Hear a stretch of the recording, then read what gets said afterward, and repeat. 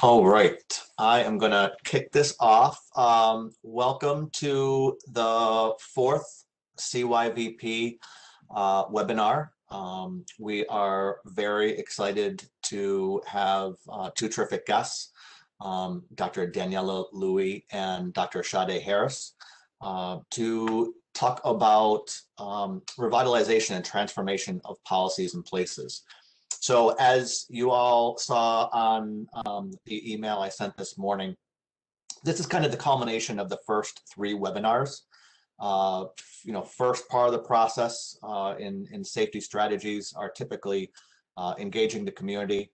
Um, you then, then build the partnerships and then you utilize data and research to really understand um, the, the wholeness of the challenges that you're trying to address. And, you know, as you have this team in place, you have the data to kind of understand um, some of the, the specific challenges that you want to address, this then becomes the prime opportunity to think about revitalization and transformation of policies, uh, trainings, uh, and places in your community that you can uh, move towards, and it's this is also a sustainability component to improve youth safety and the school climate. Um, and this is going to help young people uh, feel safer at school. Um, it's also going to help their well-being. Um, so we're going to talk to you about ways that you can uh, utilize your planning team and community stakeholders and, and, think about ways to improve these policies and practices and make sustainable changes in your community. Um, just a, a, few technical notes. Um, there is a chat feature and a question and answer. So if you have questions during the course of the presentation, feel free to uh, put them in there and we will make sure that we address those. Uh, and the, the training is being recorded. So if you have folks on your planning team um, that weren't able to attend today, and I know that a lot of the schools, um, you all are, are dealing with um, you know, I the, the concept of, of transitioning again from remote to back in-person schools. Uh, I know I just got a notice that our elementary schools are going to be going full-time March 23rd, and that was just uh, about a week ago. So that should be interesting for the schools to handle. So I'm sure you all are balancing a number of things. So I appreciate you guys um, uh, joining this webinar. And again, for those that were not able to make it, this is going to be recorded We'll put it on Basecamp uh, so that you all can share this with your, your planning team, um, uh, you know, if they're not able to attend. So let's see if I can switch this. Uh, here we go. Oh, nope, wrong one. There we go. Um, first, uh, the, the, the early part of the these slide decks are, are going to look familiar. Um, again, we want to thank the Office of Juvenile Justice and Delinquency Prevention for the opportunity to uh, host this webinar um, and uh, their continued leadership with this grant program. Um, again, similar to the, the prior convenings, we're going to talk about the goals for the webinar. Um, we'll introduce the panel. The panel will provide their presentations, and then we'll have a moderated question and answer uh, at the back end of this. Um, so today's webinar uh, again, revitalization and transformation of policies and practices. That's a mouthful, um, but this is really to help sites to think about, you know, using all of what we've put together, the team that we've put together, um, how can we create sustainable changes and look at what has been, um, you know, policies and protocols or training programs that we've had in schools, you know, to try to understand if they're working, if they're not working, um, to determine where some young people don't feel safe or why they don't feel safe in schools. So we're going to kind of help provide the, the framework to be able to map that out, to look at, you know, kind of the theory of what these policies and programs and places are supposed to be versus what is actually happening uh, in, in your school community. Um, we're also going to talk about how to use it. This is a lot of also organizational change. Um, you know, changing the way organizations interact with one another and um, uh, you know address the challenges, address a common common challenge. Uh, let's see. We're gonna switch to, um, again, this is part of our, uh, the, the, um, the four core elements of our TTA strategy. Um, you know, as, as you pull together this team, we're going to identify physical environmental safety linkages. We're going to look at school policies. Um, it's also a great opportunity to look at trainings uh, in the schools and in the community and review juvenile contact policies. So at the end of the session, you know, hopefully we will be able to help you all be able to connect findings from data analysis to support revisions to school safety practices and procedures um, to improve student educational outcomes, school safety, and the school climate.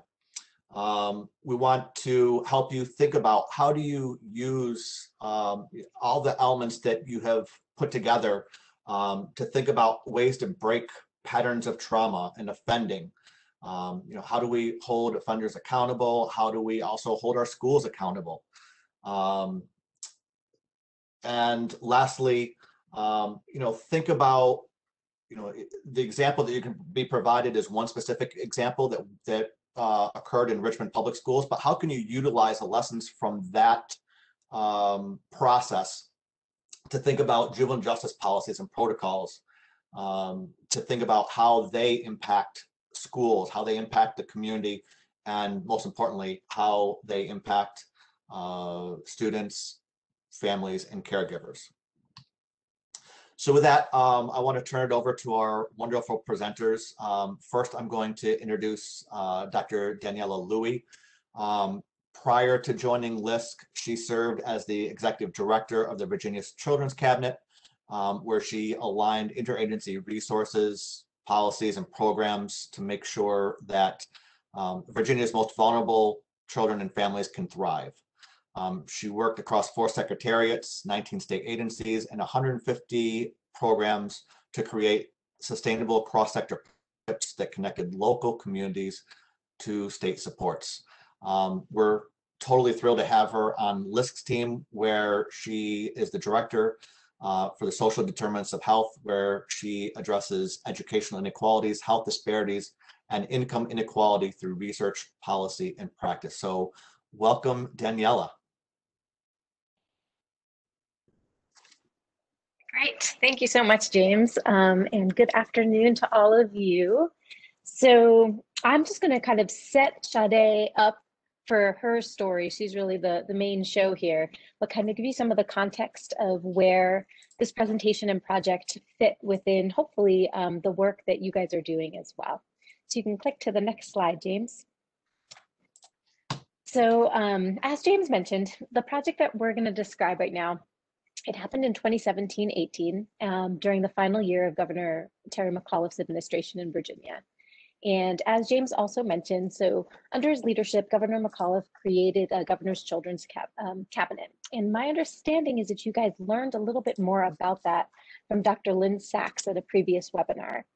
Um, but for those of you who didn't have a chance to hear about it, um, just a two second refresher, is that it's really a collective ed, um, impact entity where all of the child serving agencies come together under the leadership of their relevant um, secretaries. So Secretary of Education, Secretary of Health and Human Services, Secretary of Commerce and Trade, Secretary of Public Safety, the First Lady at the time who oversaw nutrition, and the Lieutenant Governor, who's now the governor, who focused on early childhood. So as James mentioned, I had the privilege of being the executive director at the time. But during the second year of the administration, the Center for Public Integrity, they found that Virginia was among the worst in the nation for school referrals to law enforcement.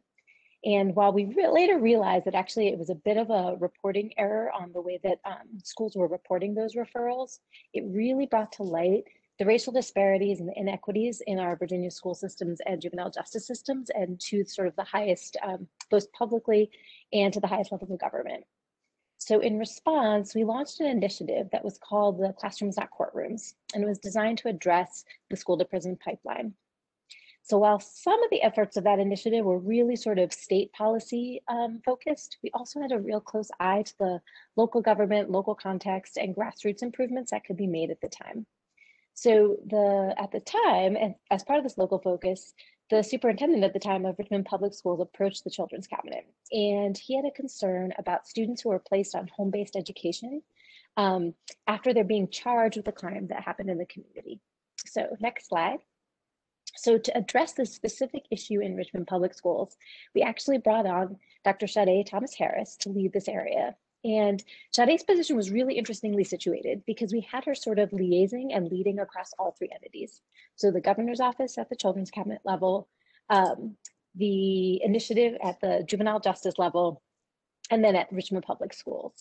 And so this context was obviously very helpful, right? The political context, the support from the senior leadership, and this unique role, but really want to sort of stress that while it was helpful, it wasn't essential. And so we hope that by the end of this webinar, you'll be able to see how the process that um, Sade applied could actually be used in any kind of context. So we don't want you to think that it could only be done because of this unique situation at the time. So next slide.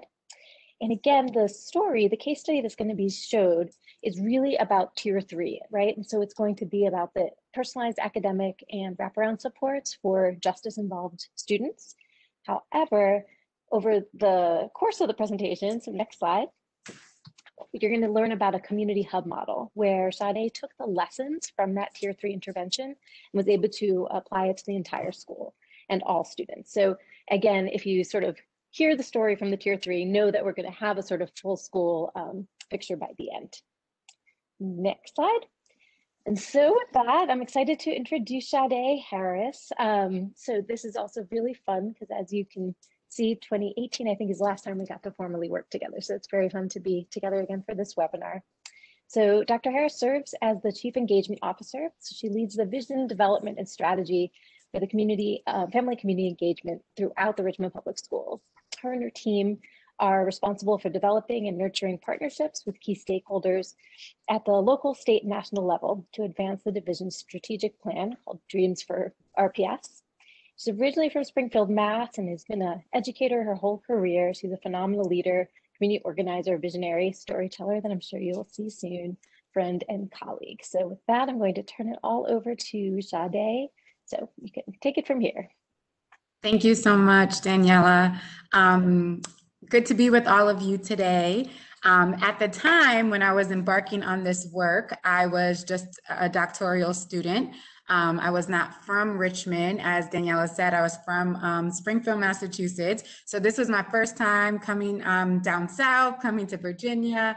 Um, and one of the things that made this um, work really special is although I was in between three organizations, it was really important that we focused on one thing. And so often when you are faced with so much, it's really easy to take on too much. Um, but we just started with like one policy. Um, and through the work with um, the Department of Juvenile Justice and looking at the, the practices and policies. Um, we, we focus on one locality in Richmond and then one specific policy. Um, and here you will see per VA code, um, just to give you some context, one of the things we realized is when students in Richmond committed any one of these reportable offenses, that information was going directly to the school. Now, if you go to the next slide, you'll see what the division had in place is a policy when they received the notification of these charges, because they were severe charges per code, they were putting students immediately on home-based education. Um, so that was something that was almost becoming automatic, and that was the RPS's policy. So we looked at this one specific policy, and I'm gonna walk you through some of what we did. So in that policy, as I shared, they were placed on home-based education. So what's that? Home-based education is when students receive five to 10 hours of instruction per week. After doing a deep dive, sometimes we, we found out it was much less than that. Um, because they were at home, they had little access to no access to peer groups and um, positive adult relationships or wraparound supports. They were unable to participate in extracurricular activities, and they were left isolated and unsupervised without an opportunity um, and had the opportunity instead of learning more so to engage in um, further delinquent behavior, right? Um, so you had a policy that was almost perpetuating violence that could continue to happen in the community on some, some levels because the students were at home for a large chunk of time. So one of the first things that I did um, was to make what was invisible visible. And this is something as you guys are working in your different localities that I find is extremely helpful is just to do a visual map. And I come from an education background, fourth grade teacher, then was a principal. So you'll see a lot of primary colors here, but I am a visual person. So you can look at data, you can look at all these things, but I was in an environment that was new to me. And I'm like, how am I going to engage with people in conversations about what's happening and pull out a spreadsheet? No, no one wanted to see that. Um, people wanted to see and know the stories of what was happening. And this was a great visual way for me to tell that story of how a young person here moved through the justice system as well as the school system at the same time.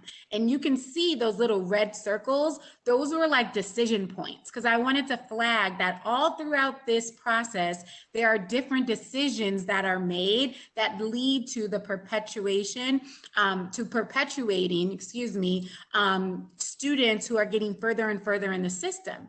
And then I was able to map it on the school side too, like what are those decision making places as well. And this was so powerful. They used to call me like the girl with the map because I would go everywhere in the community and just put this out here and then engage in conversations and facilitate conversations. And I didn't have to do anything else um, but listen to people. And that's what I did. I listened to those who were most impacted by these policies, which were students, families, community members. Next slide. So as a result of this, um, after mapping, and this was my doctoral work, I needed to, I wanted to equip myself with the right knowledge so I could really dig deep into it. So I asked three kind of essential questions. One was, what do we know about adolescent development as it relates to justice involved youth? Two, what would a trauma informed approach look like for justice involved youth? So you saw the map I just showed you. If we had a more trauma informed approach, what would that look like? How would that alter the map?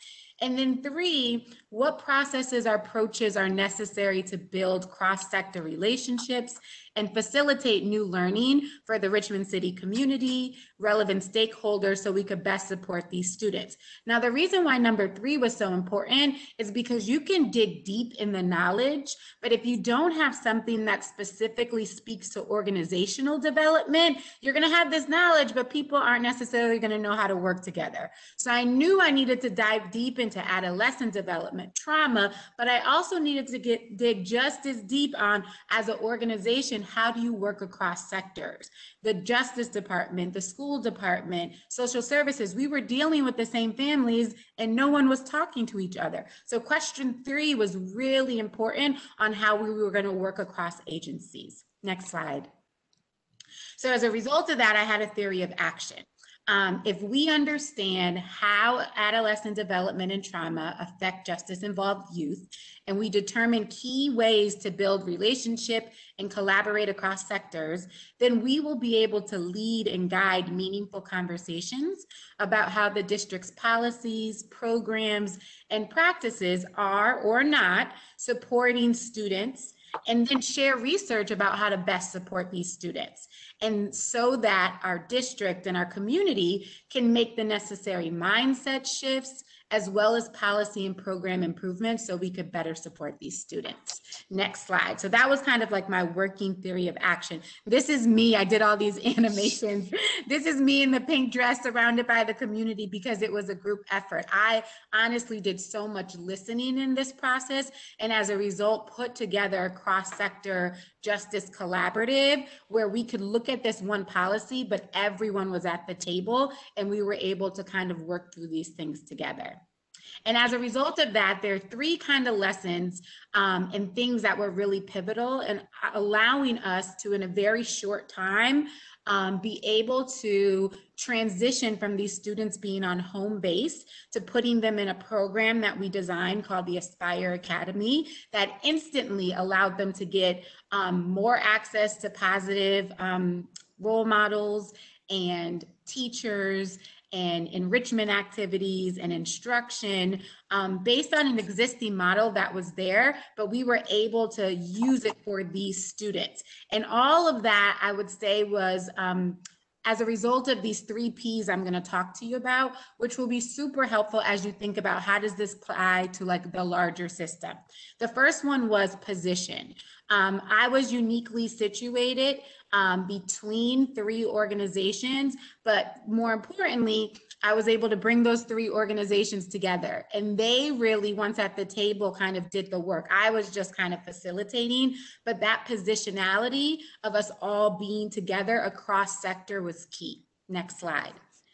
Secondly, was um, public value. So we were different people had reasons why this policy kind of resonated for them. Some people really talked about students being in the community, being a public safety risk. Other people, the instruction piece really resonated with them. Like, how are these kids not getting more instruction? So for different people, people diff- had different value propositions. So I had to kind of figure out what that was for different stakeholders and create this kind of shared public value so that we, we could reimagine what this could look like. And then that led to us creating the Aspire Academy. Like I said, had increased technology, instruction for these students.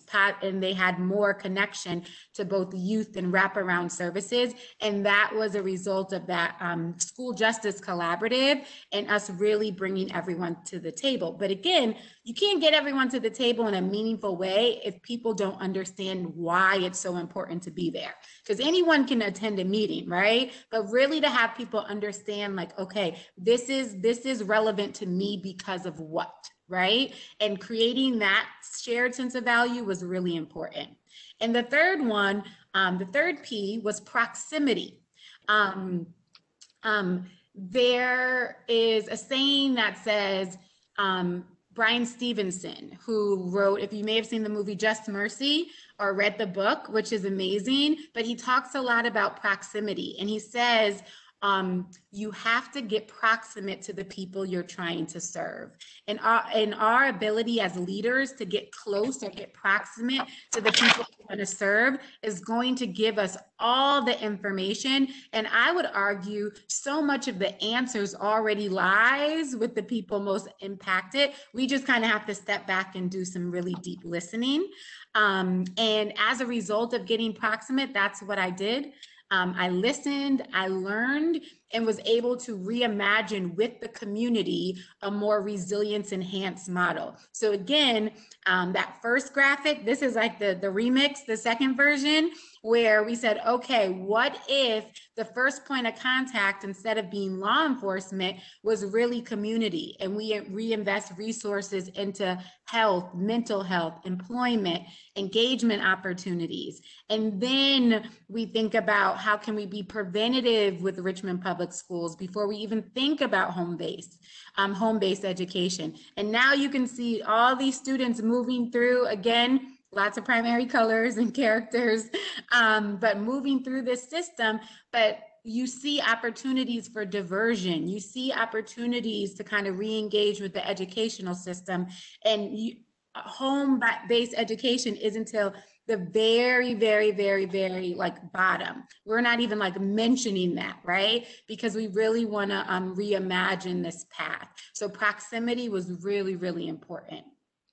And then um, next slide, some of the implications of our work, and again, at this time I, I was a student, was we were able to rethink that policy. We put a real focus on prevention and intervention. And then we used Dr. Karen Mapp's dual capacity um, building framework, which basically says you have to build your cap capacity at the same time you're building family capacity. And we use that to really think about um, how do we create really authentic engagement.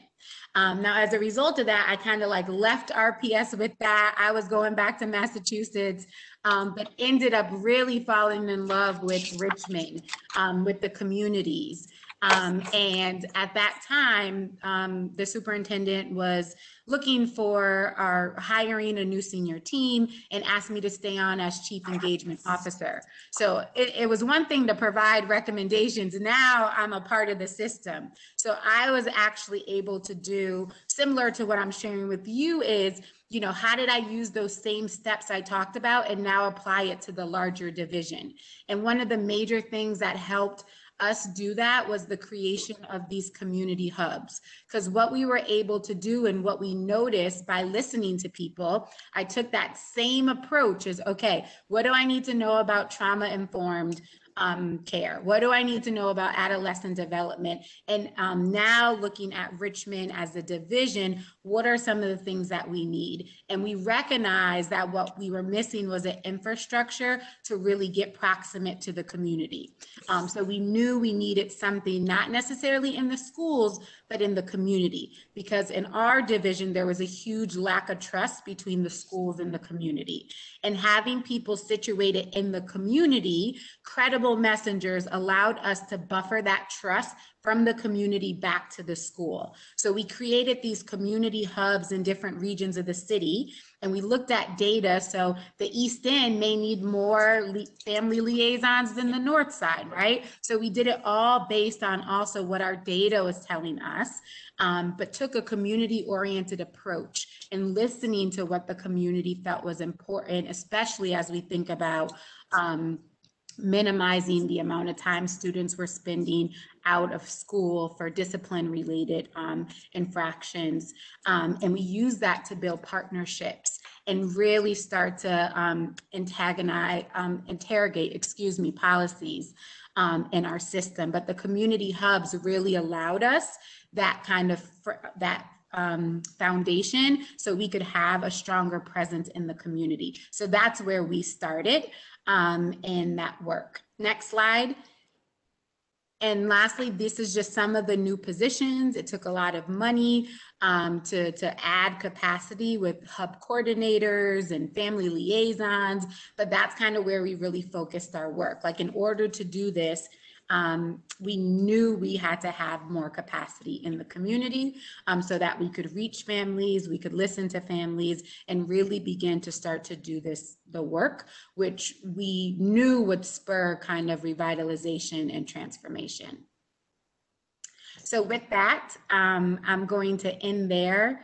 Um, again, we have a lot more work to do, but I think using kind of, you know, our position, um, our proximity, um, and creating that shared kind of public value around the, the, the issues that are really affecting um, our students um, is, is what we are working every day to do. So thank you. I'll turn it back over to Daniela, and I think we're going to take some questions. are. And before we ask questions, um, can you just talk a little bit more about some of the stark differences that you found, particularly on that map of juvenile justice and education and the timeframes of how education thought, oh, you'll be out for like a week, and the juvenile process was longer, and maybe even some of the outcomes that were happening prior to this project um, because of that, like how long kids were out of school and things like that. Sure. So the fo- first cohort of students who were on home-based education, when we did a deep dive, um, some of the students had been out anywhere from six months to a year and a half, right? So it varied depending on the on the students. And um, although when we did that mapping, we saw the different decision-making processes, but layered on top of that was like the time frame, right? So getting the notice of a student who may have been charged, um, we found different breakdowns in the system of sometimes that happened right away. Um, sometimes if someone didn't see that email for a while, it may have been longer, right? So we really had to do a complete kind of like audit of the timeframes of each of those steps. Um, and it boiled down to communication. Um, so the School Justice Collaborative was really helpful um, to understand, um, you know, where was some of this breakdown happening in terms of information. And some of it was they were reaching out to the wrong person who was the point person in the division, right? Other things were just a misunderstanding are not really understanding how the justice system works and knowing that these um, a hearing could take a longer amount of time. So it really varied, um, which is why that mapping was so important, and then layering the timing on that mapping, um, and that allowed people to see the disconnect, especially as it relates to when um, students may have been waiting for a court date. Like that could take a very long time. Um, and that was just something that I think some of the division personnel just didn't have a, a, true understanding of, but also spoke on the justice system side how long things were taking and if there was any way for that to be expedited as well. So I think both systems saw the flaws within the systems, but without that communication, they were again both working in silos. So that collaborative at least allowed us around one policy, allowed us to start talking through those things. Thank you so much. That's fantastic. No, I appreciate that. I don't want to pepper questions because I don't know who from the community or James before I start asking anything. Um, should we open it up? Is it, are people asking verbally? Or are they putting things in the chat? And James, do you have any questions to start? Thank you. Yeah, so, so first of all, I would just say, first, I love the presentation, Sade. I think that was great. I know I've gotten a couple of comments about um, your map that they're really interested in seeing. So just so folks know, I'll make sure that uh, we share the presentation so you guys can see that. Um, that is great. And I just, I think, you know, when, when, when we were talking prior to the webinar, you know, I think that was something that I was hoping that all the sites could really take away is that, you know, to being able to talk about certain challenges is one thing, but to map it out and to you know, present it in black and white where you can see the different decision points and how that impacts schools, the community, the young people. That's super important. So thank you very much for that. Um, and secondly, if, if folks have questions, um, feel free to put them in the Q&A or the chat. Uh, I think there may be even a raise hand feature, so you can try that as well. Um, or uh, uh, I think you all can unmute yourselves too if you want, so feel free to pop in. Um, one of the things I wanted to ask before um, other folks jump in was about the the trauma informed practices for the schools. Like what, how how did it, it, you know how did how did you determine like you know what what types of trauma informed uh, trainings you were going to provide? Was it was it also for the schools, maybe even for law enforcement agencies, and you know how did that impact the work? Great. So for the actual, like during my doctoral work, it was really just kind of led, um, was there for to be informative for our school justice collaborative, right? So it was that how can I put some knowledge on the table around these things? And then with this, how can we operate that through that lens as we're thinking about how to address that specific problem? So it really was almost like this this lens in which we saw everything through. And my role was bringing to that, that to the table. And my role now as chief engagement officer, um, again, listening to the community, what we heard from the community was all about how do you move to more a restorative justice division, right? And what does that look like? And what does that look like? What does that sound like? Um, so one of the things that we did as a division um, was made sure our senior leadership and started there were really aware about trauma informed practices and did training at the director level. And this was something that our division just named as a priority. Um, so a lot of that wasn't necessarily as a result of my work. We had been talking about it, um, but the division under the leadership of Superintendent Kamras was already going in that direction. I think um, projects and examples like this further kind of like, you know, um, made it clear why having a trauma-informed approach was so uh, uh, important. Um, and I was able to share this example, but it was something that the division and the school board adopted.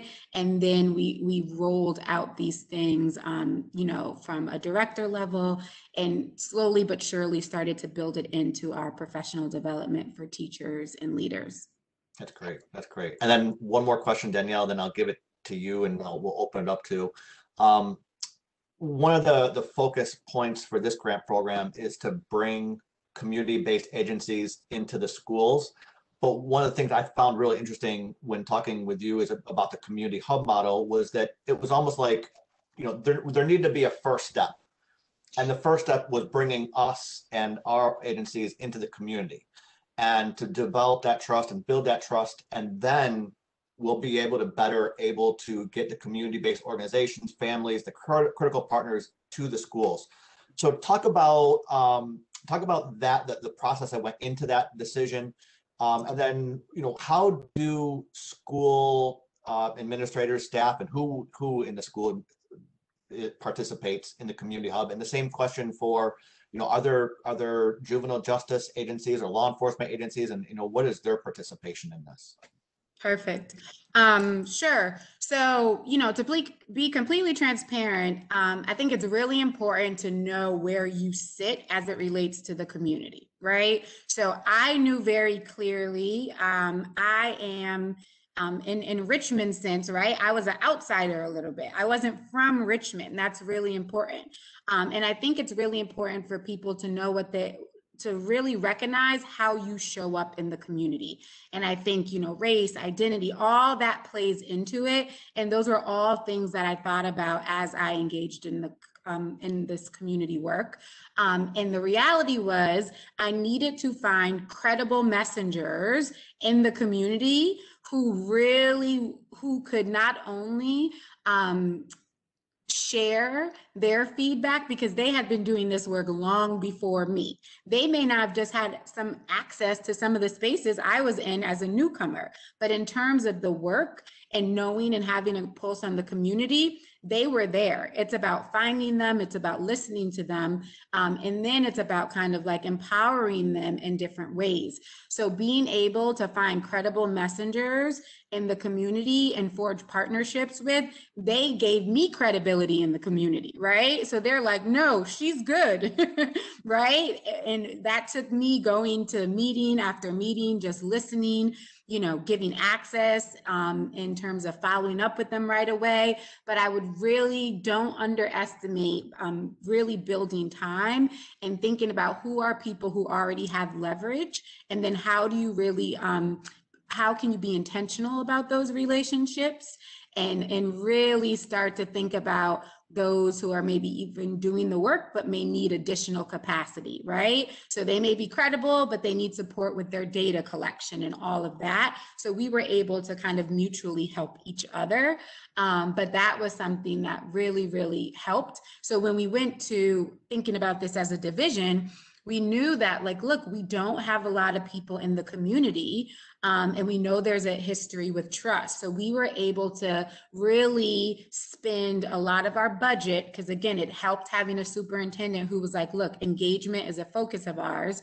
And we added family liaisons um, to our budget who were going to we were going to hire members of the community you know basically hiring some of those credible messengers and have them a part of our rps family. And that has proved um, really tremendous um, um, for our division. So that was one of the reasons. I think you can sometimes, there are times where you're inside the system. Sometimes it's really powerful to be outside the system pushing in.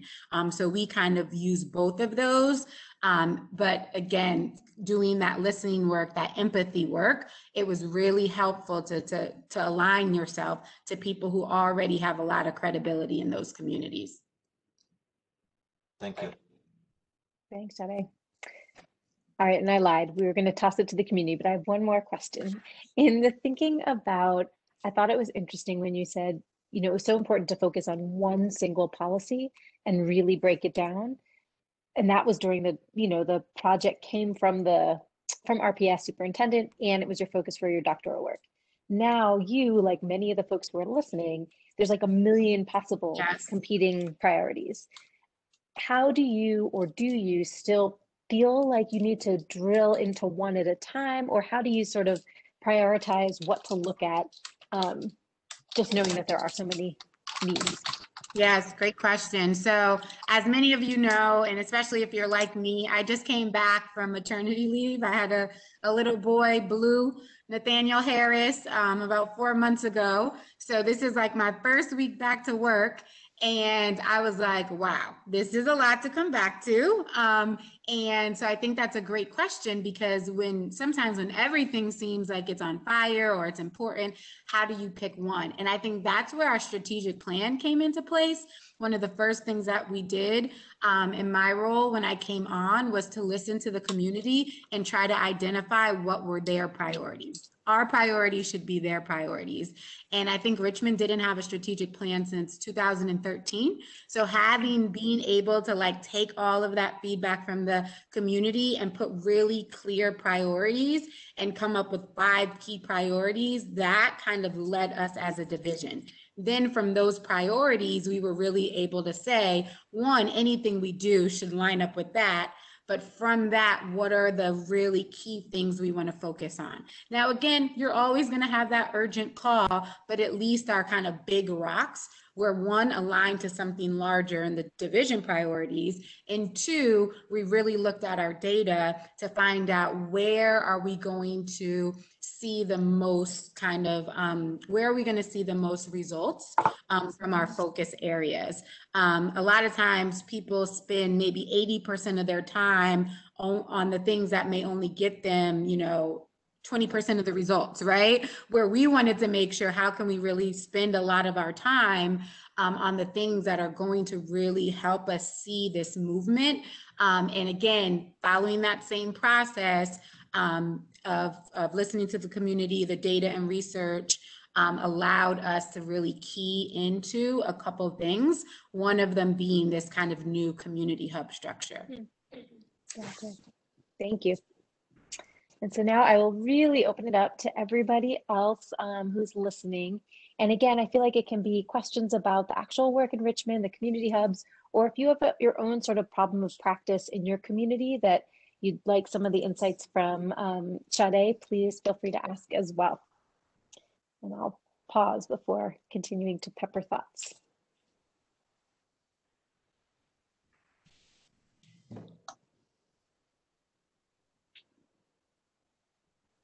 Yeah, so something just came in. Can you share more about how youth slash students were engaged as part of your community listen sessions?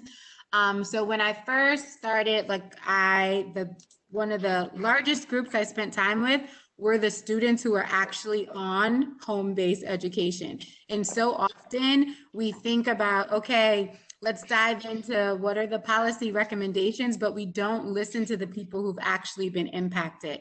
Um, so spending time, um, and they probably got so annoyed at seeing me, but I would go to the court hearings, um, call families. I shadowed um, probation officers on their routes. Um, and really try to just listen to the stories of, of students um, and use kind of qualitative data. And one of the things that was really powerful that I did was I kind of created, I'm really big on storytelling, and I created these videos of students just sharing their experience. And it was some of the most powerful kind of data that I had um, so that when I went back to the children's cabinet, when I went into these spaces where those students were not or those families were not, I actually had them with me.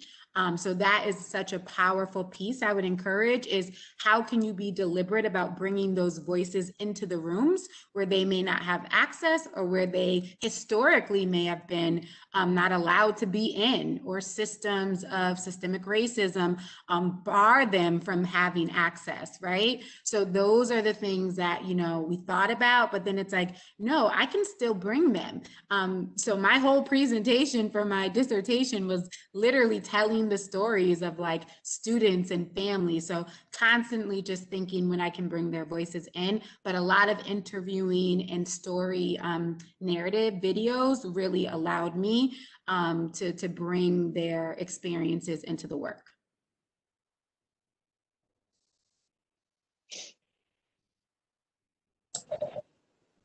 Great. Any other questions from sites?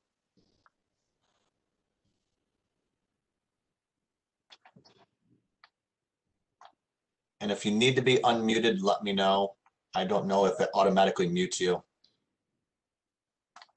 Um, and while, while folks are letting me know about that, um, um, how, so, so I, I know when we were talking prior to the webinar again, um, it it was focused within one school, I believe it was one school that you were working with in the Richmond Public Schools. And, you know, originally you had used the data to determine that this policy was most, having the greatest impact on ninth grade students. And then as the, the work continued, you realized that, hey, this is something that can be useful for all of our high school students in, in the schools. So how did, how did you first determine it was, you know, the, the, the focus could, should be in ninth grade? Um, and then how did you utilize the team to then expand it? And, you know, is Richmond Public Schools thinking about, you know, uh, what is the lessons learned and, and how are they taking, um, you know, what has been created with Aspire? You know, are they making it bigger? Are they sustaining it? And, and, you know, how are they using the information that, that, that, uh, uh, that you guys have learned?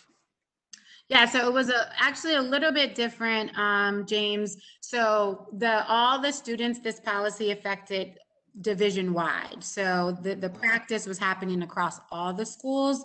Um, Richmond currently already had a program where they were servicing students who were over age and undercredited. Um, but after kind of doing kind of like an asset analysis of the division, we realized this program was underutilized. So we figured we could use kind of spaces in this program, an existing program for this subset of students. Now, when starting something similar to like starting with one policy, we knew we needed to buy buy-in. And starting this with, you know, the whole ninth through 12th grade um, would have been really hard for to Oh. get full buy-in. So what we did is we started with just ninth graders. So ninth graders um, who were being affected by this policy, what would that do?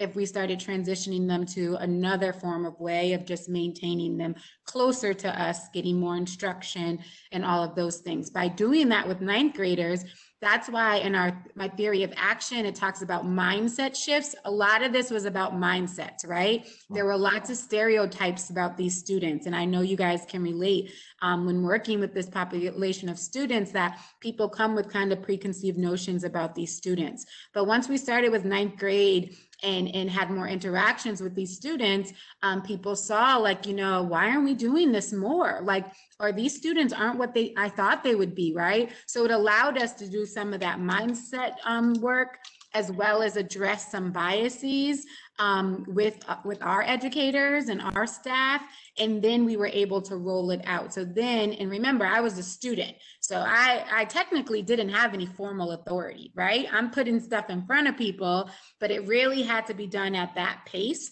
so the division could buy into it and begin to change. And at the end of it it was like this policy is something that one the school board needs to look at and we need to think about just how do we expand it to 12th grade which they did um, and continue to do um, to answer your question. And and now being on the other side of it we still need a lot of work on on how we're working with students and being preventative for those kind of justice involved students. Um, that requires a lot of work. Um, but this is um, i think laying the foundation of being able to do it definitely this this was a great step in the right direction. Great, thank you. One, another question I have, or it's more of a statement, having gotten the chance to observe you when you were in that role, was the same attention that you gave to getting the students' voices and families' voices and community incorporated. You did a really good job building relationships across these different agencies very intentionally.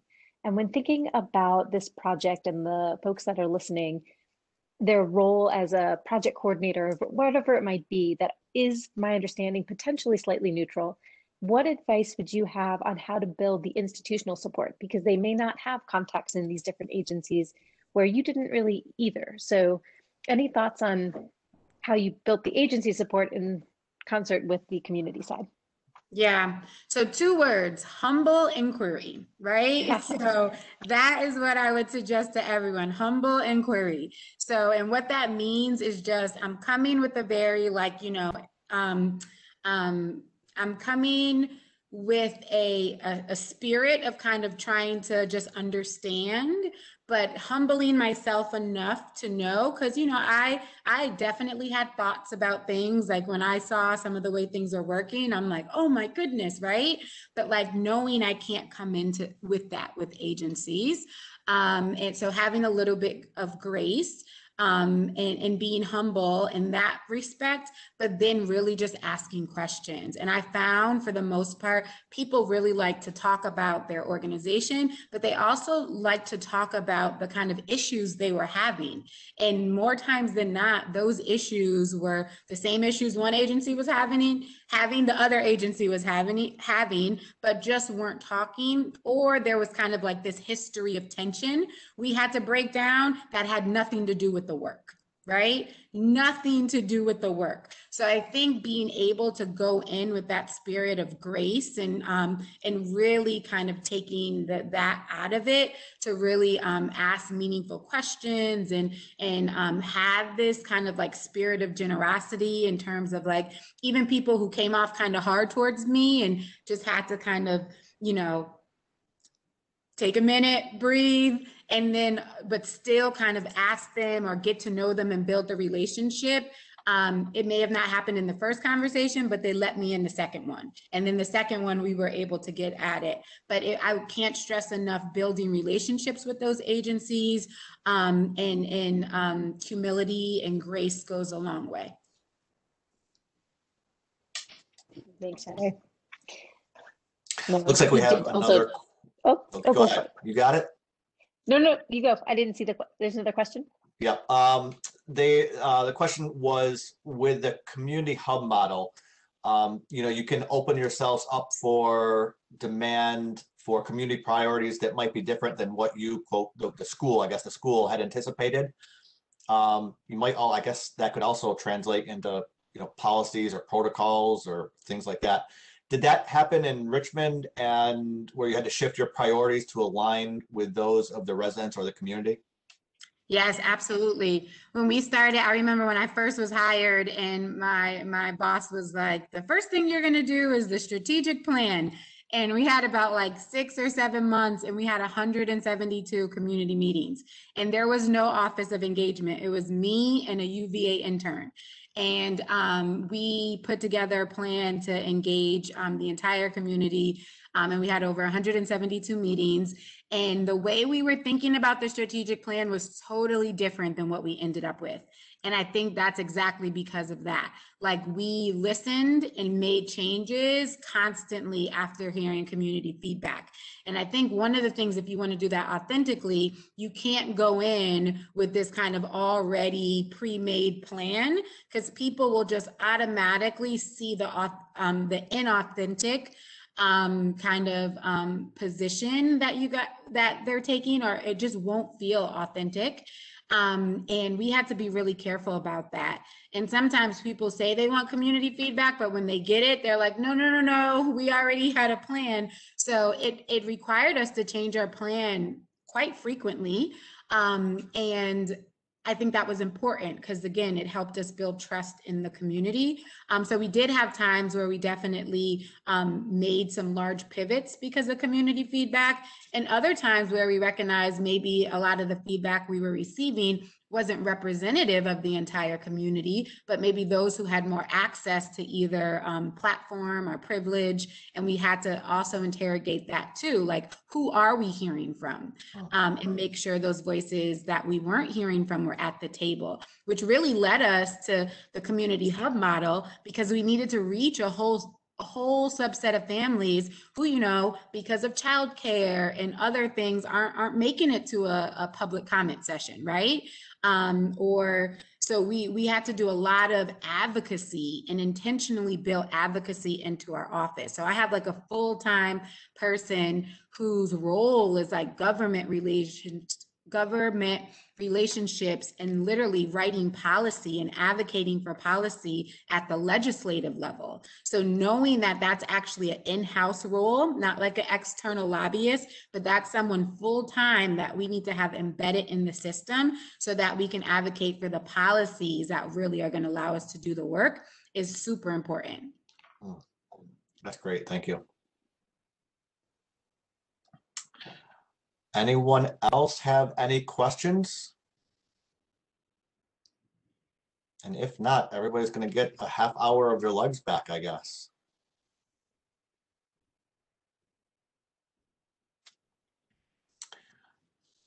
All right, y'all are quiet today. Must be a Monday, or else it's uh sunny and everybody, oh, no, at least it's sunny over here and y'all want to get outside. Um, all right, well, I guess with that, um, thank you so much, Sade. Thank you so much, Daniela. Um, like I said, I will post the um the the recording. And uh, if you guys have any questions, um, let me know. And Sade, I'm gonna also ask maybe offline too about the um, family liaison positions because I think those are amazing. Um, and you know, if there's like a job position that you can share for others that might be thinking about that, um, and that might be something that um, they could think about uh, putting in place as well. So, I would be happy to share any resources. Also, um, um, James, feel free to share my email. It's sharris1 at rvaschools.net.